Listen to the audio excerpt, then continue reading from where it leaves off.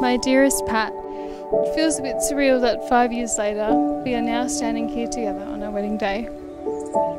I love the life that we built together.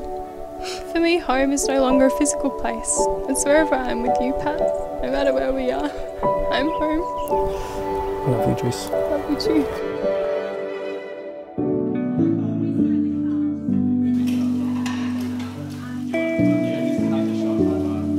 I love your handsome face and smile. I can't wait for the many, many years of happy memories, married life we have together ahead. Love, Jas.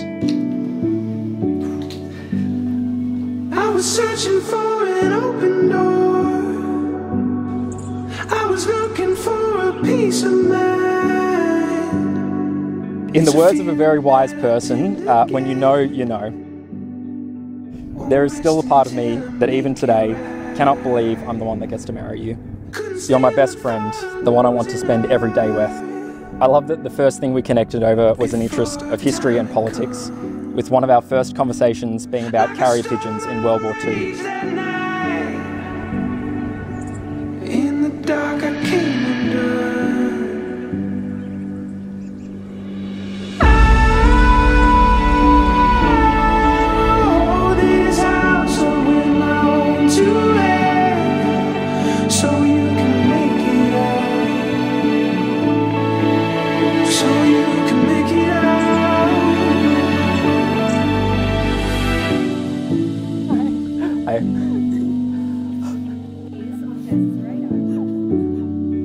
Thank you so much for joining us on such a beautiful, beautiful day.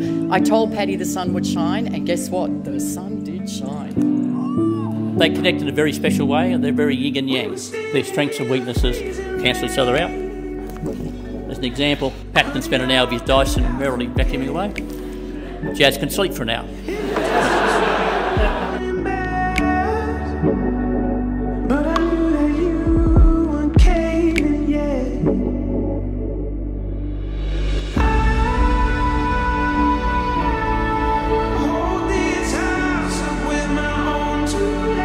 So proud of you, for everything that you've achieved with your hard work, for the care you give to your family, for your kindness towards our friends, and also the compassion you show all your patients.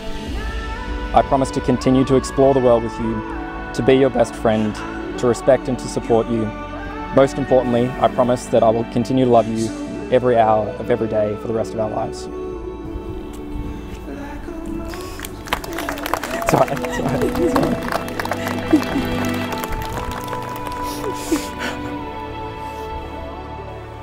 And now, with great joy, in front of your closest friends and family, and by the authority given to me, I pronounce you as husband and wife. Patrick and Jasmine, you may kiss for the first time as a married couple.